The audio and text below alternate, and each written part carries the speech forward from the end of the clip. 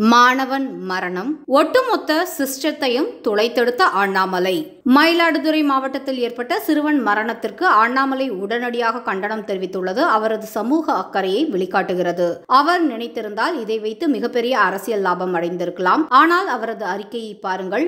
ஒவ்வொரு வரியிலும் ஒரு உயிர் பலியான பதற்றம் மட்டுமே தெரிகிறது. இதுவே திமுக எதிர்க்கட்சியாக இருந்திருந்தால் இதற்கு முதல்வர் மட்டும்தான் காரணம் என்பது போலவும் அவர் உடனே பதவி விலக வேண்டும் என்றும் ஸ்டாலின் கொதித்து போயிருப்பார். ஆனால் அண்ணாமலையின் அறிக்கை. அவர் ஒட்டுமொத்தமாக இந்த சிஸ்டம் எந்த அளவுக்கு செதில் செதிலாக சீரழிந்துள்ளது என்பதை தெளிவாக சுட்டிக்காட்டுகிறார். முதல்வர் ஒரு ஊருக்கு வருகிறார் என்றால் நிச்சயம் பலத்த ஏற்பாடுகள் இருக்கும் என்பதை அனைவரும் ஏற்றுக்கொள்வார்கள். ஆனால் அதற்காக பள்ளி மாணவர்களை வெயிலில் வாட்டி வதைப்பது தவறு என்பதை தான் அண்ணாமலை சுட்டிக்காட்டுகிறார். குறிப்பாக ஒரு மாணவன் மயங்கி உயிரிழக்கும் அளவுக்கு தாமதப்படுத்துவது யாருடைய குற்றம் என்ற கேள்வியை மக்கள் மனதில் விதைத்துள்ளார். பள்ளி நிர்வாகத்தின் பொறுப்பின்மை இப்போது ஒரு உயிரை பலிவாங்கி உள்ளது. இதற்கு முன்பு அரசியல் கட்சியினர் பேனர் சாய்ந்து மரணங்கள் நிகழ்ந்துள்ளன.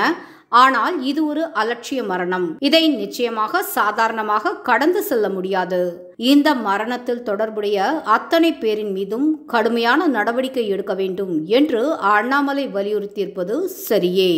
ஜெய் ஹிந்த்.